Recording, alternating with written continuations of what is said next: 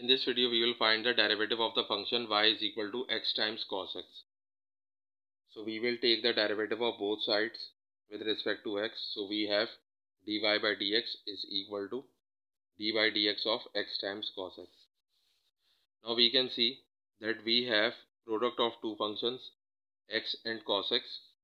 So we will apply product rule of differentiation which is dy by dx of u times v is equal to u times derivative of v plus v times derivative of u.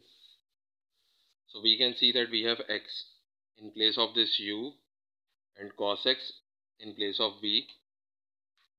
So we put the values of u and v in this formula. Now first we will write u which is x then the derivative of v p is cos x so we will write cos x over here then plus sign then we will write v v is cos x and the derivative of u and u is x.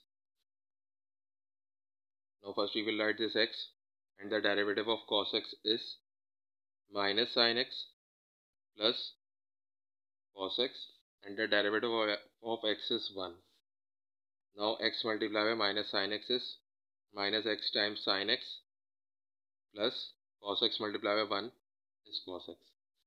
And this can be written as cos x minus x times sin x. So the derivative of x times cos x is cos x minus x times sin x.